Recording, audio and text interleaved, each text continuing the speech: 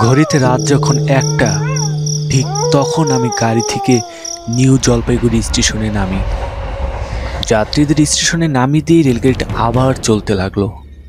আমার সহযাত্রীদের বেশিরভাগজনই তাদের নিজ নিজ আত্মীয় স্বজনদের সঙ্গে বাড়িতে চলে গেলেন। আর আমি যাচ্ছি আমার মামার বাড়ি। মামাদের সারপ্রাইজ দিব বলে তাদের ফোন করে জানাইনি। সঙ্গে থাকা ব্যাগ দুটির একটি কাঁধে ঝুলিয়ে অপরটি হাতে নিয়ে স্টেশন মাস্টারের রুমের দিকে গেলাম। ভেতরে ঢুকতে দেখি একজন লোক বসে আছে। উনি হয়তো স্টেশন মাস্টার হবে। তাই তাকে গিয়ে জিজ্ঞেস করলাম আচ্ছা এখান থেকে নিউ জলপাইগুড়ি কত দূর? তিনি উত্তর দিলেন, এখান থেকে নিউ জলপাইগুড়ি চল্লিশ কিলোমিটার রাস্তা। আমি তাকে বললাম আচ্ছা এখন কোনো গাড়ি পাওয়া যাবে না? তিনি বললেন, কিছুক্ষণ আগে একটা গাড়ি নিউ জলপাইগুড়ির উদ্দেশ্যে রওনা হয়ে গেছে। এত রাতে আর কোনো গাড়ি পাবেন না বোধ হয় আপনি এক কাজ করেন, রাতটা এখানে কাটিয়ে দিন। ভেবে দেখলাম লোকটা ঠিকই বলছে। রাতটা স্টেশনে কাটিয়ে দেওয়াই আমার জন্য উত্তম হবে। তাই মাস্টারের রুমে থেকে বাইরে এসে দেখি স্টেশনটা বেশ ফাঁকা হয়ে গেছে ইতিমধ্যে। পাশের ওয়েটিং রুমে গিয়ে একটা চেয়ার টেনে বসে পড়লাম। ভাবলাম, মামাদের ফোন করে জানিয়ে দিই যে আমি কাল সকালে আসছি। কিন্তু কি এক ঝামেলা? মোবাইলের ব্যাটারিও শেষ। আর কোনো উপায় না দেখে চিন্তা করলাম, কোনো মতে আজ রাতটা এখানে বসে কাটিয়ে দিলেই কাল সকালে জলপাইগুড়ির উদ্দেশ্যে রওনা হব। দেয়ালে ঝুলে থাকা ঘড়ির দিকে তাকিয়ে দেখি রাত দেড়টা বেজে গেছে। আর মাত্র তিন চার ঘণ্টা কোনো মতে কাটিয়ে দিই। চোখেও একটু ঘুম ঘুম ভাব তাই চোখ বন্ধ করে বসে রইলাম। হঠাৎ এমন এক সময় একজন লোক এসে উপস্থিত। বলল, স্যার, কোথায় যাবেন? আমি হকচকিয়ে গেলাম। বললাম, "আম- জলপাইগুড়ি যাব, কিন্তু তুমি কে? স্যার, আমার নাম নরেশ, এ এলাকায় গাড়ি চালাই। ও, তাই নাকি? আচ্ছা তুমি জলপাইগুড়ি যাবে? হ্যাঁ স্যার, যাব, চলেন। মনে মনে চিন্তা করলাম, কষ্ট করে স্টেশনে রাত কাটার চেয়ে গন্তব্যে চলে যাই ভালো। তাই ব্যাগটা হাতে নিয়ে বললাম, চলো নরেশ। মনে মনে ভাবলাম, যাই হোক, ভালোই হয়েছে। হাঁটতে হাঁটতে নরেশের গাড়ির সামনে গেলাম। সেখান গিয়ে দেখি একজন লোক আগে থেকেই সিটের উপর বসা। লোকটার সমস্ত শরীর চাদর দিয়ে ঢেকে রেখেছে। চেহারাটা ভালোভাবে দেখা যাচ্ছে না। আমি কোনো কথা না বলে লোকটার পাশে গিয়ে বসলাম। তারপরে নরেশ গাড়ি চালাতে শুরু করে।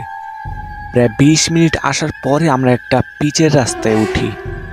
সেই রাস্তার দুই পাশে ছিল বিস্তৃত ধান ক্ষেত। আমার মনে হচ্ছে এই জায়গার নাম বেলাকোবা। যত দূর চোখ যায় শুধু হলুদ পাকা ধান। আর চাঁদের ওলায় জায়গাটা বেশ সুন্দর লাগছে। কতকাল আসেনি এইদিকে।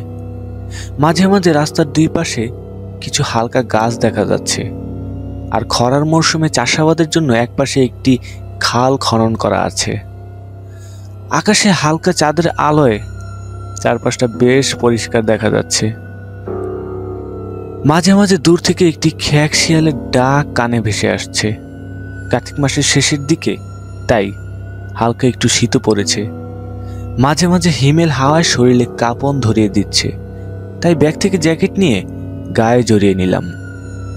একটু পরে নরেশ জিজ্ঞেস করল, স্যার জলপাইগুড়ি আপনার কে থাকে? আমি বললাম, জলপাইগুড়ি আমার মামার বাড়ি। কিছুদিন পরে আমার ছোট মামার বিয়ে, তাই যাচ্ছি। ও আচ্ছা।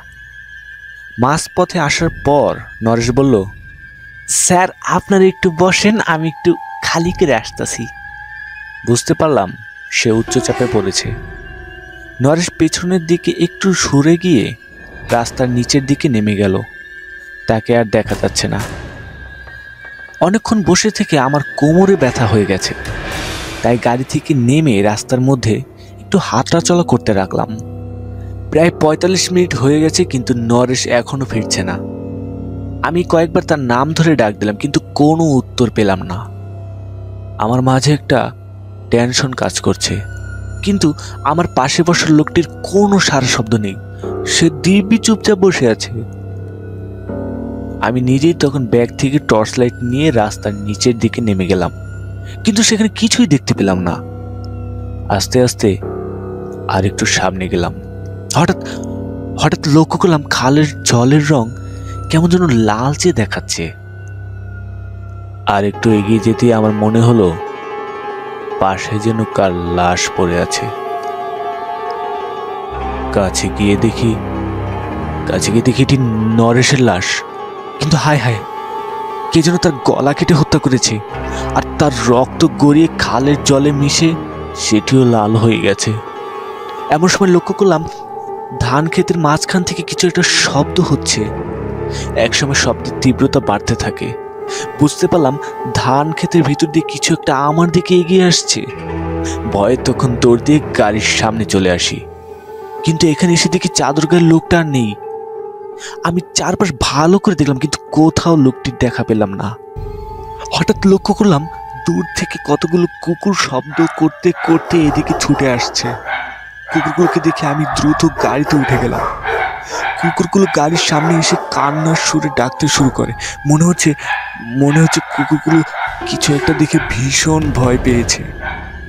তাই ওদের দিকে এক দৃষ্টিতে তাকিয়ে রইলাম। এমন সময় খেয়াল করলাম ওই দিক থেকে রাস্তার নিচ থেকে কেউ একজন উপর দিকে উঠে আসছে। হাতে থাকা টর্চটি সেদিকে ধরলাম। দেখি রাস্তার উপর রাস্তার উপর এক মধ্যবয়সী মানুষ দাঁড়িয়ে আছে। মুখে আর পোশাকে তার রক্তের দাগ।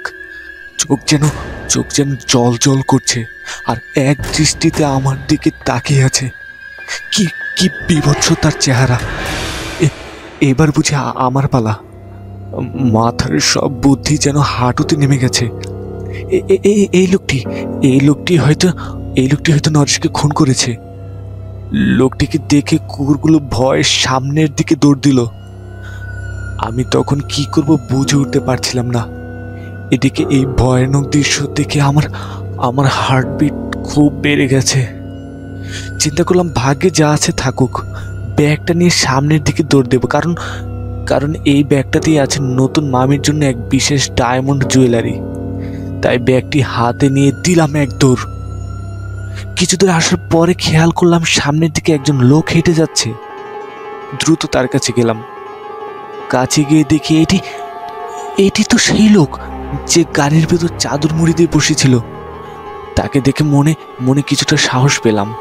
লোকটিকে বললাম, দাদা দাদা, আপনি এভাবে হেঁটে আসলেন আর ওইদিকে কারা যেন নরেশ ড্রাইভারকে খুন করে ফেলেছে? লোকটি গম্ভীর গলায় উত্তর দিল, ও, তাই নাকি? এই প্রথম এই প্রথম আমি লোকটির গলার আওয়াজ শুনতে পেলাম, কিন্তু কিন্তু আওয়াজটি আমার কাছে অতি পরিচিত মনে হচ্ছে। মনের মাঝে কেমন একটা কেমন একটা খটকা লাগে, তাই লোকটিকে বললাম, দাদা দাদা, আপনি এভাবে চাদর দিয়ে মুখ ঢেকে আছেন কেন? আপনার চেহারাটা একটু দেখি। আমার কথা শেষ হওয়ার পরে লোকটির রাবণের হাসি হাসতে লাগলেন।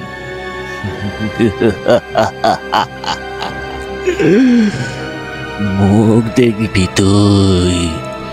তুই আমার মুখ দেখবি। এই দেখ দেখ আমার মুখ।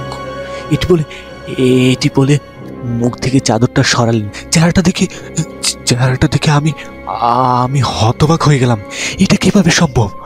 একটু আগে একটু আগে মারা যাওয়ার নরেশ ড্রাইভার। তার হাতে একটা কাটা মুন্ডু নিয়ে ঘুরছে। আমার আমার সব অঙ্গ প্রত্যঙ্গ দুর্বল হয়ে যাচ্ছিল।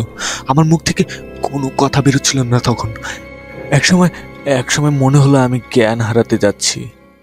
তারপরে আমার আর কিছুই মনে নেই।